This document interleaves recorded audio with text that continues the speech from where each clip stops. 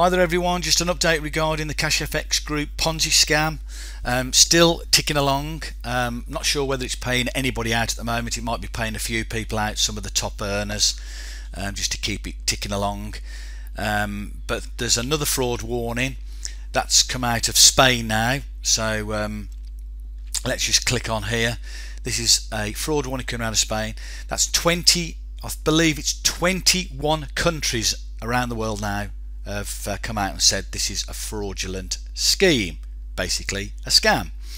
Yet um, we still have idiots coming to our channel posting saying we don't know what we're talking about. They'd rather believe the owners, the scammers that set up the scam to scam people out of money. They'd rather believe those people than they would the 21 authorities in different countries around the world.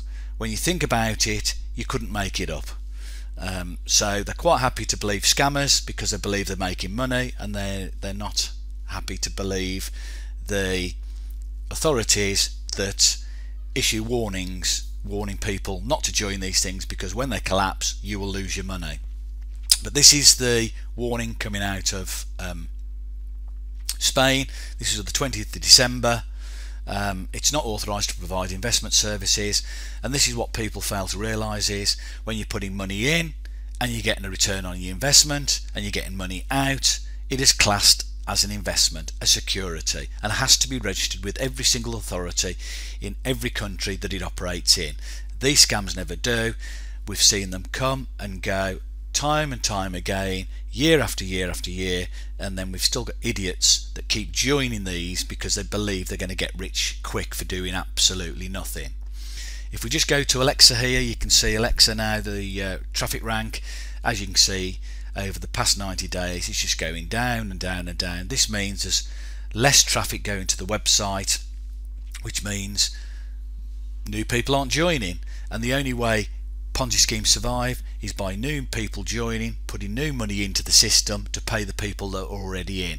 And this is when, so when they collapse, the people have come in at the lower end, the middle lower end, tend to lose most of the money. They also get you with um, numbers on a screen. So get to your next level, get to your next level, get to your next level, get to your 100k level, etc., etc. And that's for you. They do the reason they do that is for you to keep the money the alleged money in the system you're not withdrawing it because you just keep building and building and building and then when you come to withdraw some money you won't be able to get your hands on it. Uh, so so that's the update regarding CashFX um, fraud alert in Spain. Okay? Have a great day. Speak to you soon